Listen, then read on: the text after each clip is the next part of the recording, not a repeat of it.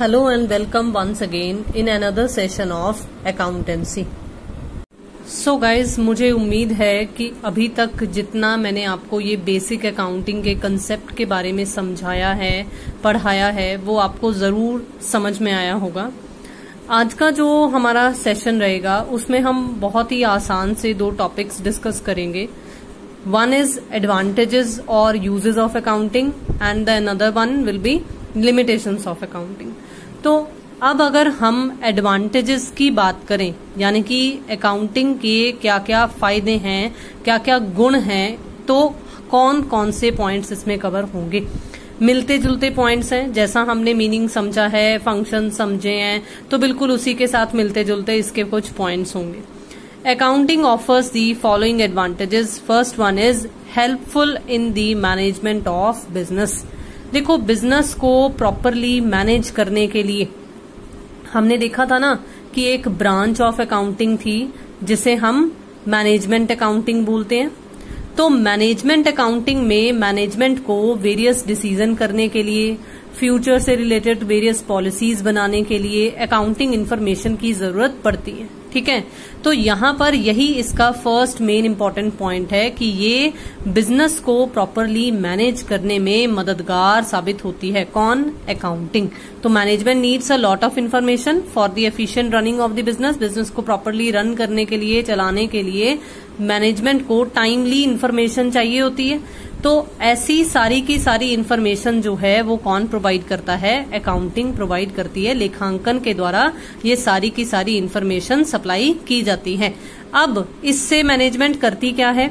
देखो, बहुत ही आसान है। प्लानिंग करने में मदद मिलती है मैनेजमेंट को डिसीजंस लेने में मदद मिलती है, और प्रॉपरली बिज़नेस में कंट्रोल करने में मदद मिलती है। Now what do we mean by planning decision making और कंट्रोलिंग देखो प्लानिंग का मतलब क्या होता है? Planning is something which we are doing in present, but we are doing it for the future.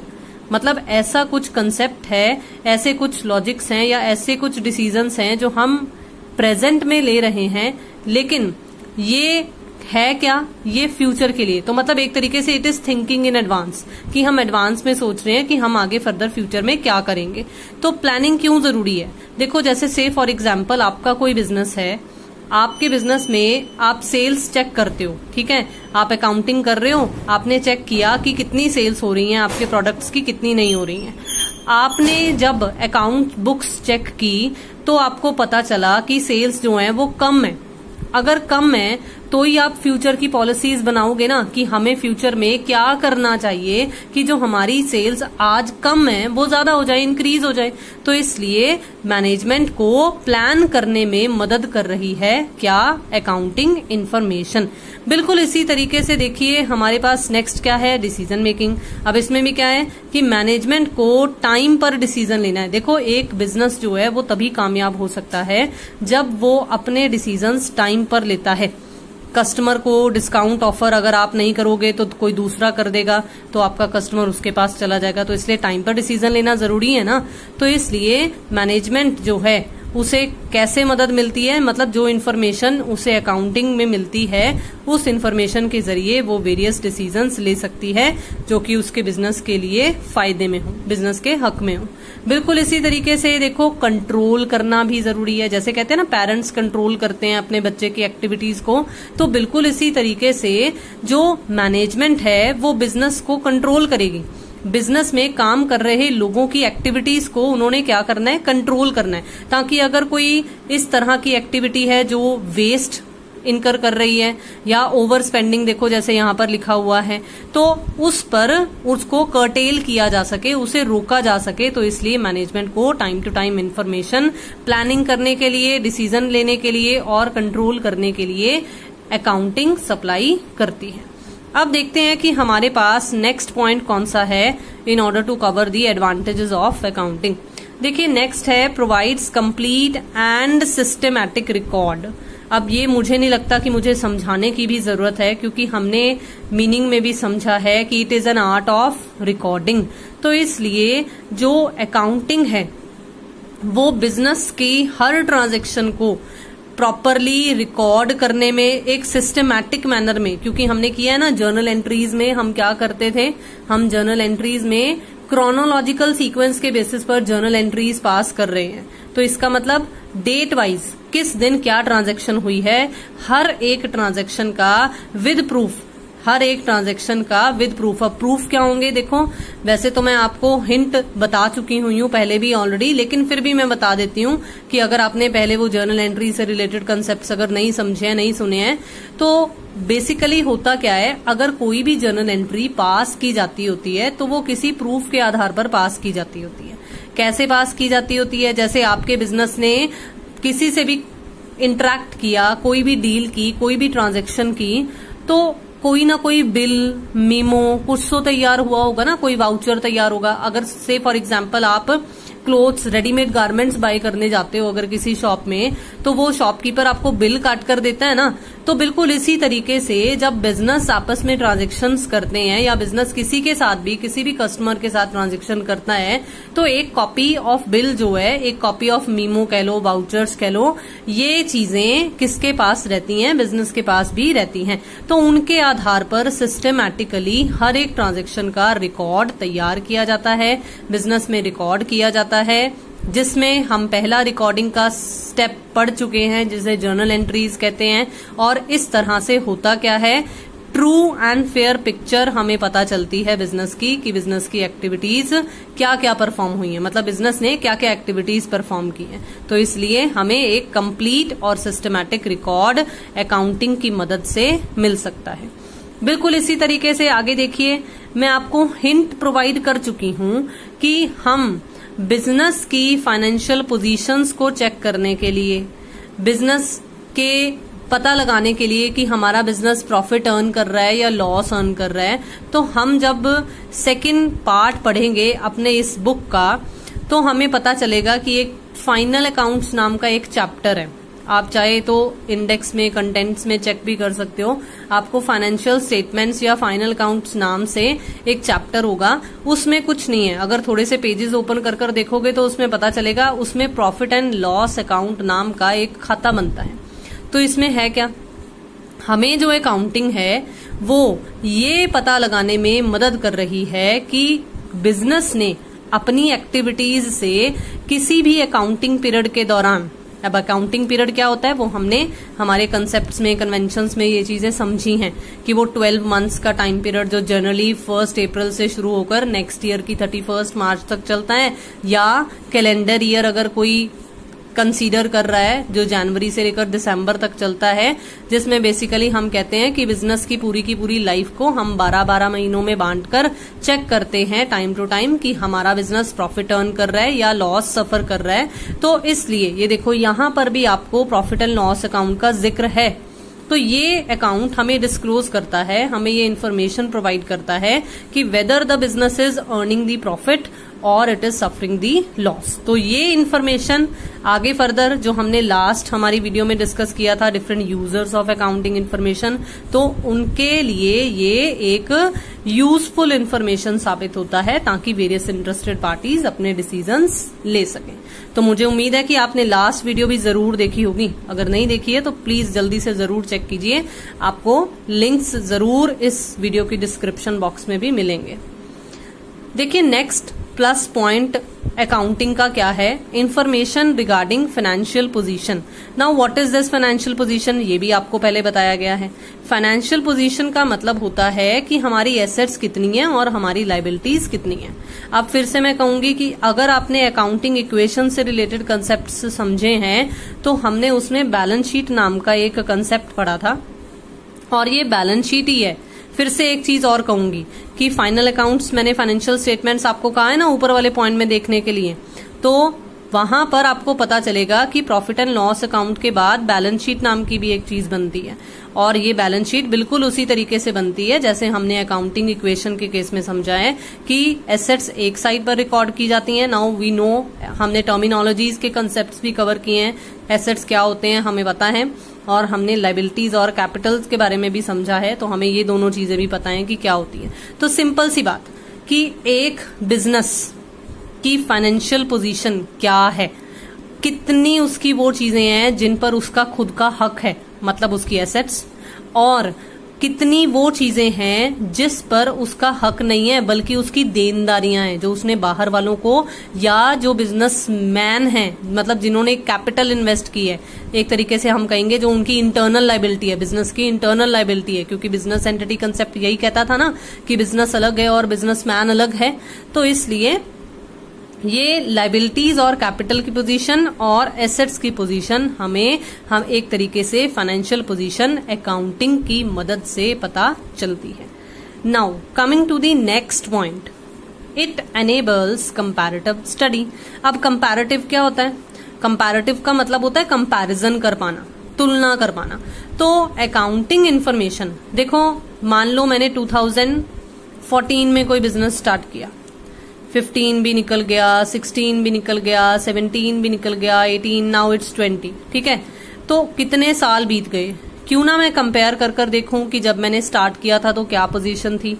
क्यों ना मैं अपने लास्ट ईयर के साथ ही कंपैरिजन कर कर देख लूँ कि मैंने कुछ इम्प्रूवमेंट किया है या नहीं?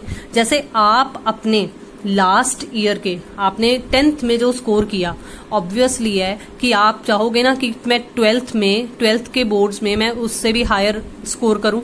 तो व्हाट यू आर डूइंग आप कंपैरिजन कर रहे हो ना तो बिल्कुल इसी तरीके से यहाँ पर क्या होता है कि जब हम बिज़नेस की हर एक ट्रांजेक्शन का सिस्टमैटिक रिकॉर्ड रखते हैं, हमें पता है कि हमने पिछले साल कितनी कॉस्ट इनकर की थी, हमें पता है कि पिछले साल कितने एक्सपेंसेस बियर किए थे तो मतलब हम पिछले सालों की इंफॉर्मेशन को आपस में कंपेयर कर कर देख सकते हैं। या यूँ कह लो कि करंट ईयर के साथ लास्ट ईयर या किसी और बिज़नेस के साथ हम कंपैरिजन कर कर देख सकते हैं कि हमारी पोजीशन ये है और हमारे जैसा ही बिज़नेस करने वाला एक दूसरा कॉम्पिटिटर जो है, उसकी पोजीशन ये है। तो इस तरीके से अगर हम कंपैरिजन करेंगे तो हम टाइमली और कुछ इम्पोर्टेंट डिसीजंस अपने बिज़नेस के लिए वाइजली ले सकते हैं जुडिशियली मतलब वाइजली ले सकते हैं, सोच समझकर डिसीजंस ले सकते हैं। तो मुझे उम्मीद है कि ये पॉइंट भी आपको समझ में आ गए। अब हम देखते हैं next point which is helpful in the assessment of tax liability now again I would like to say कि हमने डिफरेंट ब्रांचेस ऑफ़ अकाउंटिंग पढ़ी हैं। हमने देखा फाइनेंशियल अकाउंटिंग है मैनेजमेंट अकाउंटिंग है कॉस्ट अकाउंटिंग है सोशल रिस्पॉन्सिबिलिटी अकाउंटिंग था एंड एक जो मैंने अभी तक नहीं बोला वो कौन सा था?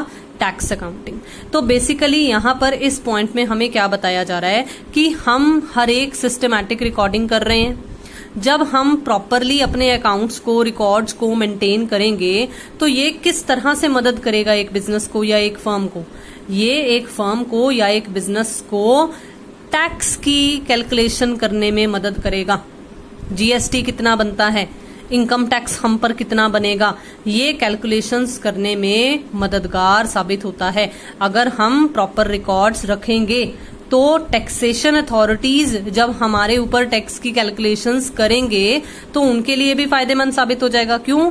एक तरीके से हमारी रेपुटेशन भी बनेगी। अगर हमने प्रॉपर सिस्टमैटिक रिकॉर्ड्स सारे रखे हुए होंगे प्लस हमें भी कहीं हम टैक्स ज़्यादा ना पे कर दें, या अगर कहीं कोई डिडक्शन क्लेम करनी है, होता है ना, छूट भी मिलती होती है ना, कि अगर हम यहाँ इन्वेस्टमेंट करें या यहाँ सेविंग कर दें, ये कुछ कंसेप्ट हैं जो अगर आप आगे कॉमर्स सब्जेक्ट कोई परस्यू करोगे तो आपको और ज़्यादा क्लियर होते चले जाएँगे। बट हाल फ़िलहाल के लिए, अभी आपके लिए इतना ही जानना काफ़ी है कि टैक्सेशन लाइबिलिटीज की असेसमेंट करने के लिए मतलब कितना अमाउंट ऑफ़ टैक्स आपको पे करने की ज़रूरत है, उसके लिए ज़रूरी है कि प्रॉपर रिकॉर्ड्स मेंटेन हो।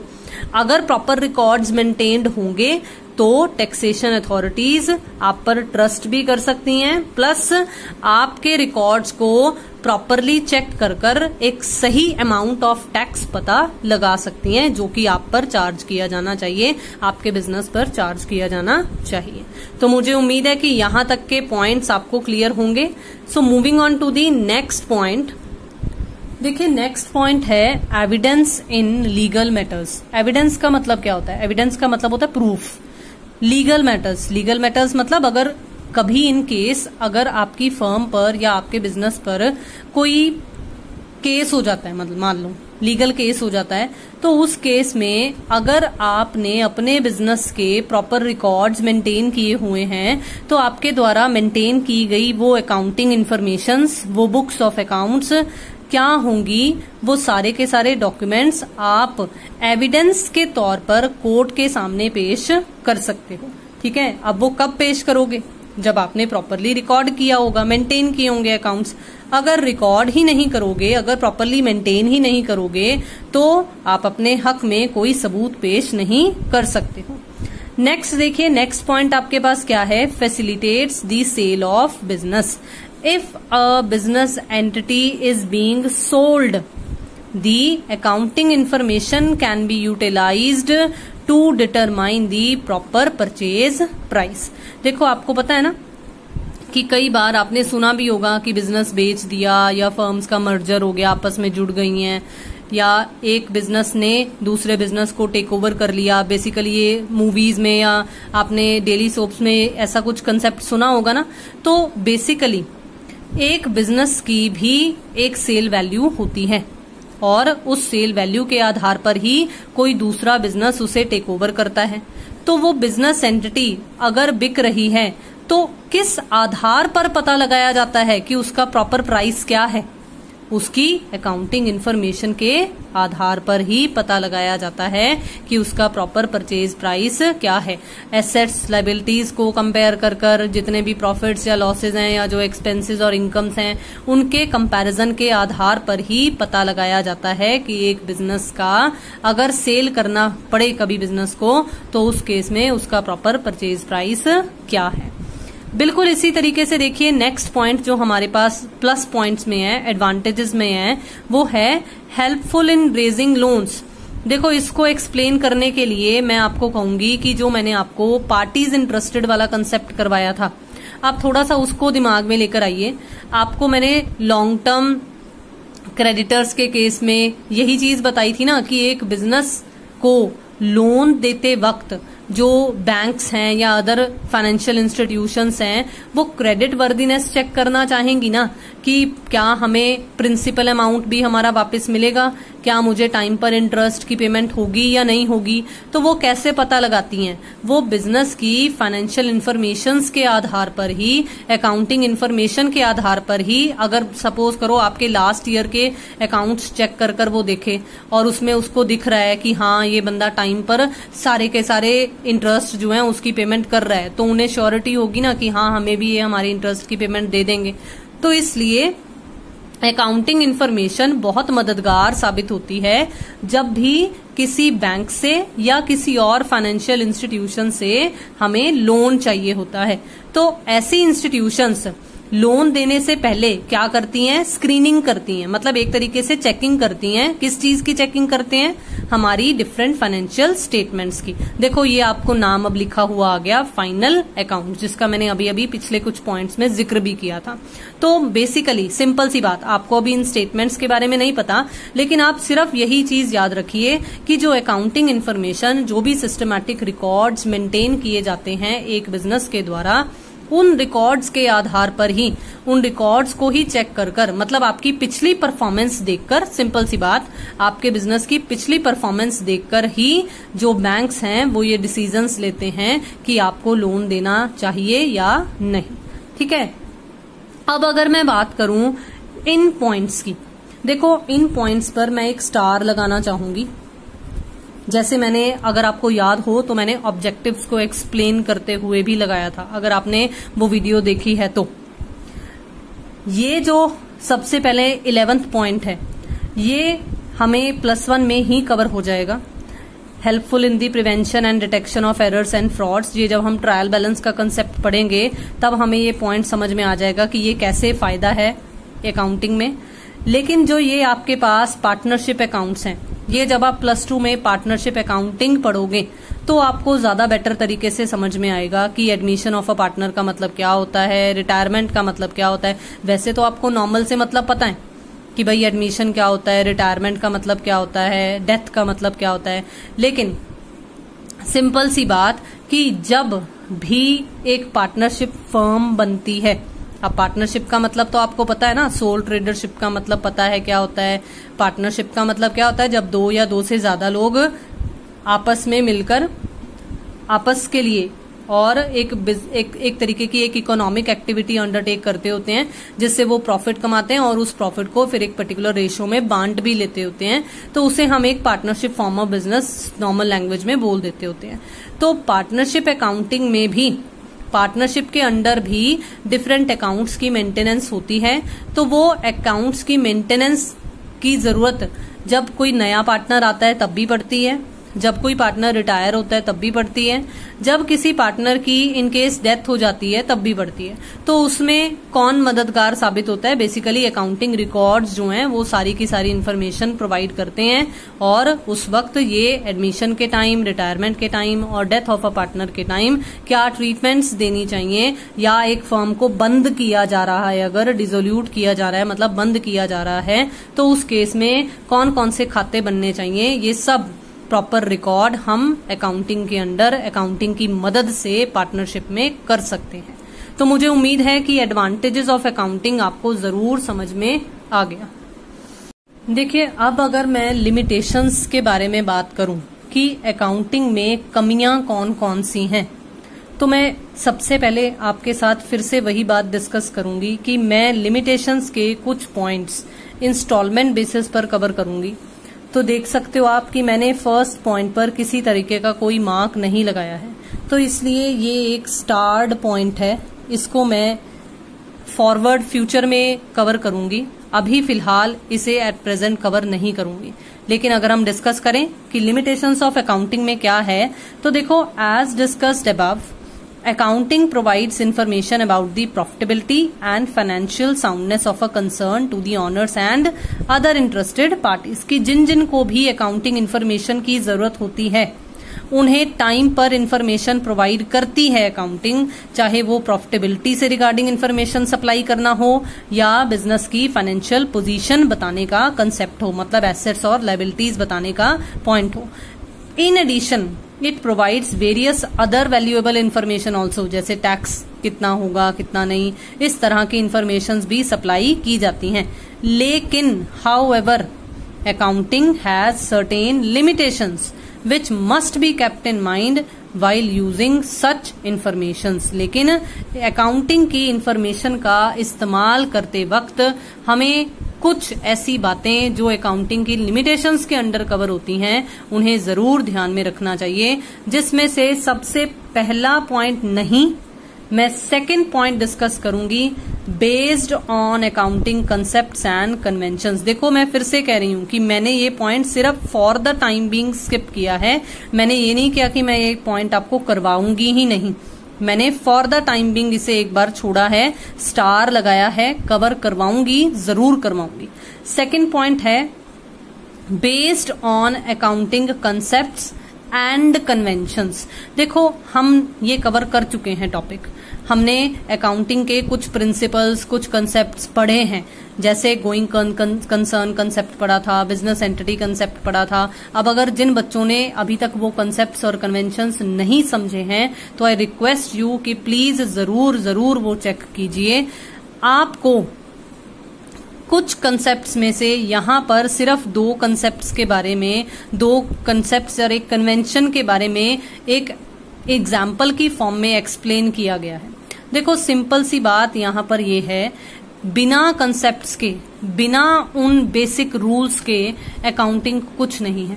तो अकाउंटिंग टोटली उन कंसेप्ट पर, उन कन्वेंशन पर आधारित है। Accounts are prepared on the basis of the number of accounting concept and convention hence the profitability and the financial position disclose by it may not be realistic क्यों? क्योंकि उन concept में कुछ ना कुछ, कहीं ना कहीं कमी है। ये देखो, ये जो हिस्टोरिकल कंसेप्ट कॉस्ट कंसेप्ट आपको बता रखा है, ये आपके लिमिटेशंस में एक और पॉइंट बनाकर भी कवर किया हुआ है, लेकिन हम इसे यहीं पर समझ लेते हैं कि ये क्या है। देखो, जब मैंने आपको हिस्टोरिकल कॉस्ट कंसेप्ट करवाया था, तब मैंने आपको क्या समझाया था? मैंने आपको समझाया था कि हम कोई भी फिक्स्ड एसेट्स अगर परचेज करते हैं, उसे अपनी बुक्स ऑफ़ अकाउंट्स में रिकॉर्ड करते हैं तो हमने उसे कितने का खरीदा है? हम उसे उस अमाउंट पर रिकॉर्ड करेंगे, ना कि उसकी मार्केट में कितनी वैल्यू है उस पर रिकॉर्ड किया जाएगा। जैसे सपोज़ कीजिए, मैंने अभी अभी कुछ टाइम पहले आपको एक एग्जांपल दी थी। मान लो मैंने 2014 में बिज़नेस स्टार्ट किया था। तो मैंने 2014 में मान लो प्लांट लगाया था अपनी फैक्ट्री में, या यूँ कह लो, अपनी फैक्ट्री में कोई मशीनरी लेकर आई थी मैं। ठीक है? अब वो मशीनरी मैंने उस वक्त 10 लाख की मान लो खरीदी थी। कब खरीदी थी? 2014 में। ठीक है? 2014 में मैंने कितने की मशीनरी खरीदी थी? 10 लाख की। अब आज 2020 में मान लो वही मशीनरी जो है, वो 20 लाख की है। डबल हो गई। डबल हो गई ना। लेकिन लेकिन मैं अपनी बुक्स में जो वैल्यू दिखा रही हूँ किसकी? मशीनरी की। वो टेन लाख के अकॉर्डिंगली ही चल रही है। टेन लाख पर कुछ वैल्यू उसकी कम हो गई होगी। जैसे जैसे हम किसी चीज़ को यूज़ करते जाते हैं तो वो चीज़ पुरानी होती जाती है ना, जैसे आपने कार खरीदी हो। कार को जैसे जैसे परचेज यूज़ करते जाओगे, उसके टायर घसेंगे, या उसको जैसे जैसे और यूज़ करोगे पेंट खराब होगा। तो एक तरीके से जैसे जैसे हम चीज़ों को एसेट्स को यूज़ करते जाते हैं तो उनकी वैल्यू में कमी आती चली जाती है। तो जो 2014 में मैंने 10 लाख की खरीदी थी, उसकी वैल्यू आज 10 लाख नहीं है 10 लाख से कम हो गई है। लेकिन अगर मैं उसी मशीनरी की आज की डेट में 2020 में मार्केट वैल्यू देखूँ तो वो मार्केट वैल्यू कितनी है? 20 लाख। लेकिन मैं रिकॉर्ड कितने के हिसाब से कर रही हूँ? 10 लाख के हिसाब से, जो कि एक हिस्ट्री है आज की डेट में। बीत चुका है ना ये टाइम पीरियड तो इसलिए this means that the fixed assets are shown on their cost and not at their market value. The value realized on their sale may be more और less than the value stated in the balance sheet तो जब हम ऐसी assets को अगर बेचते हैं तो उनकी जो वैल्यू रियलाइज़ होगी स्क्रैप वैल्यू या जो भी रियलाइजेबल वैल्यू होगी, वो ज़्यादा भी हो सकती है और वो कम भी हो सकती है। ठीक है? तो सिमिलरली बिल्कुल इसी तरीके से एक और एग्ज़ाम्पल तो इसका मतलब यहाँ पर क्या है? ट्रू पिक्चर तो नहीं शो कर रही ना मेरी अकाउंटिंग इन्फॉर्मेशन मार्केट में उसकी कुछ और वैल्यू है, लेकिन मेरी बुक्स ऑफ़ अकाउंट्स कुछ और इन्फॉर्मेशन शो रिवील कर रही हैं। बिल्कुल इसी तरीके से देखो, एक और एग्ज़ाम्पल जो आपको यहाँ पर बताई गई है, वो बताई गई है कन्वेंशन ऑफ़ कंजर्वेटिज्म के आधार पर। ये जब कंजर्वेटिज्म वाला कंसेप्ट हमने समझा था तो हमने क्या समझा था कि जितने भी हमारे लॉसेस होते हैं, हम उन्हें रिकॉर्ड कर लेते हैं। अगर वो अभी हुए नहीं है फ्यूचर में होने वाले भी हैं तो भी। जब मुझे पता चल गया कि मेरा नुकसान होने वाला है, मैं उसे तभी रिकॉर्ड कर लूँगी, चाहे अभी नुकसान हुआ है, चाहे नहीं हुआ है। लेकिन लेकिन फायदों के केस में इनकम्स के केस में हमने क्या किया था? हमने ये पढ़ा था कि फ़ायदे जब तक हमें रियलाइज़ नहीं होते तब तक हमने उन्हें रिकॉर्ड नहीं करना है। तो लॉसेस को तो हमने रिकॉर्ड कर लिया, चाहे वो फ्यूचर के हैं, लेकिन इनकम्स को हमने अभी तक रिकॉर्ड नहीं किया है। वो वो भी तो है ना इनकम भी तो मिलेगी ना हमें। तो इनकम्स को इग्नोर कर देना, सिर्फ़ लॉसेस को ही कंसीडर कर लेना, ये हमें, हमारी अकाउंटिंग की इंफॉर्मेशन जो है, वो सही नहीं बता रहे हैं। क्योंकि उस केस में हम अपने नुकसानों को शो कर कर, अपना मुनाफा तो कम शो करते जाएँगे। कि ये भी मेरा एक्सपेंस हो सकता है, ये भी मेरा एक्सपेंस हो सकता है तो मेरे पास तो कम प्रॉफिट बच रहा है। लेकिन अगर हम दूसरी साइड पर देखें प्रॉफिट बढ़ाने वाली चीज़ को, यानी कि इनकम को तो हम इग्नोर कर रहे हैं। तो दैट इज़ वाई कि ये जो अकाउंटिंग इन्फॉर्मेशन होती है, वो कुछ अकाउंटिंग कंसेप्ट और कन्वेंशन पर बेस्ड है। उनके अलावा कोई वजूद नहीं है। अगर हम अकाउंटिंग इन्फॉर्मेशन का सही तरीके से, अगर हम ये पता लगाना चाहें कि ये हमें सही रिजल्ट्स दे रही है कि नहीं तो ये हमें बहुत हद तक एक तरीके से रॉन्ग रिजल्ट्स दे रहे हैं। क्यों दे रहे हैं? क्योंकि एक तो मार्केट में वैल्यू कुछ और है, लेकिन हम कुछ और शो कर रहे हैं तो हमें ट्रू एंड फेयर पिक्चर नहीं पता चल रही है। बिल्कुल इसी तरीके से लॉसेस को रिकॉर्ड किया जा रहा है, लेकिन इनकम्स को नहीं रिकॉर्ड किया जा रहा तो फिर से हम सारी इंफॉर्मेशन रिकॉर्ड नहीं कर रहे हैं। So this is one of the limitation of accounting अब अगर हम बात करें इनकम्प्लीट इन्फॉर्मेशन किस तरह से अकाउंटिंग की लिमिटेशन है। Accounting statements provide only the incomplete information because जो एक्चुअल प्रॉफिट या लॉस है बिज़नेस का, वो तो जब बिज़नेस खत्म होगा, बंद होगा, तभी पता चल सकता है। उससे पहले तो नहीं पता चल सकता है। तो इसलिए ये एक तरीके से कंप्लीट इन्फॉर्मेशन नहीं है। ये एक इनकम्प्लीट इन्फॉर्मेशन ही है, क्योंकि बिज़नेस गोइंग कंसर्न है। हमें नहीं पता कि बिज़नेस 10 साल चलेगा 15 साल चलेगा, कि लाइफ टाइम चलता रहेगा, पीढ़ी दर पीढ़ी चलता रहेगा। तो इसलिए अकाउंटिंग स्टेटमेंट्स जो हैं, वो हमें एक्चुअली सही प्रॉफिट या लॉस नहीं बता रही हैं, क्योंकि मानना ये है कि सही प्रॉफिट या लॉस जो है, या एक्चुअल प्रॉफिट और एक्चुअल लॉस जो है, वो हमें तभी पता चल सकता है जब वो एक्टिविटी पूरी तरह से क्लोज हो चुकी हो। लेकिन जब क्लोज ही नहीं हुई है तो सही प्रॉफिट या सही लॉस कह पाना गलत होता है। नेक्स्ट अगर मैं बात करूँ तो नेक्स्ट पॉइंट है ओमिशन ऑफ़ क्वालिटेटिव इन्फॉर्मेशन अब देखो, मैं यहाँ पर आपको कहूँगी कि अपने माइंड में अकाउंटिंग की डेफिनेशन लेकर आइए, जिसमें हमने कहा था which are of financial character at least इसमें सिर्फ़ वही ट्रांजेक्शन्स रिकॉर्ड की जाती हैं जो फाइनेंशियल नेचर की हैं, जो क्वांटिटेटिव नेचर की हैं। तो इसका मतलब मैनेजर्स बदल रहे हैं बिज़नेस की रेपुटेशन क्या है, क्या इम्प्लॉयज के या मैनेजमेंट और लेबर के आपस में जो रिलेशन है वो कॉर्डल है मतलब पीसफुल है। लड़ाई झगड़े तो नहीं हो रहे हैं, कहीं किसी तरीके की कोई हड़ताल तो नहीं हो रही है। तो इस तरह के कंसेप्ट जो हैं, जो कि क्वालिटेटिव हैं इन नेचर ये हम मनी में एक्सप्रेस नहीं कर सकते हैं। तो इसलिए इस तरह के क्वालिटेटिव एस्पेक्ट्स को कंप्लीटली ऑमिट कर दिया जाता है स्किप कर दिया जाता है इग्नोर कर दिया जाता है, जबकि जबकि ये बहुत इंपॉर्टेंट रोल प्ले करते हैं। देखो, आप अपने बिज़नेस की रेपुटेशन के आधार पर अपने प्रोडक्ट को हायर प्राइस पर बेच सकते हो। हो बेचते हो ना? बेच सकते हो ना? अगर बेच पा, पा रहे हो तो आप ज़्यादा प्रॉफिट कमा रहे हो। लेकिन आप इसको फ़ायदे की फॉर्म में रिकॉर्ड नहीं कर सकते हो। तो इसलिए मुझे उम्मीद है कि ये क्वालिटेटिव इन्फॉर्मेशन वाला कंसेप्ट भी आपको समझ में आ गया। एक दो पॉइंट्स और हैं जल्दी से वो भी देख लेते हैं कि लिमिटेशंस के क्या हैं। देखिए नेक्स्ट पॉइंट फिर से वही है हिस्टोरिकल कॉस्ट वाला। जो मैं ऑलरेडी आपको एक्सप्लेन कर चुकी हूँ तो इसलिए इसे मैं दोबारा से अब यहाँ पर एक्सप्लेन नहीं करूँगी। बस सिंपल सी बात तो ये है कि हिस्टोरिकल कंसेप्ट के आधार पर या हिस्टोरिकल कॉस्ट के आधार पर जब हम अकाउंट्स में बुक्स ऑफ़ अकाउंट्स में हमारे एसेट्स की रिकॉर्डिंग करते हैं, कोई प्राइस लेवल चेंज आ रहा है मतलब मार्केट में एसेट्स की वैल्यू में कितने बड़े बड़े चेंजेस आ रहे हैं। हाँ, जब हम उन चेंजेस को रिकॉर्ड नहीं कर रहे हैं तो इसका मतलब हमारी जो बैलेंस शीट है वो ट्रू फाइनेंशियल पोजीशन नहीं बता रही है। अब देखिए एक और पॉइंट है। मैं फिर से इस पर स्टार लगा रही हूँ और मैं फिर से कह रही हूँ कि ये फॉर द टाइम बिंग मैंने छोड़ा है लेकिन हम आगे चलकर इसे ज़रूर करेंगे।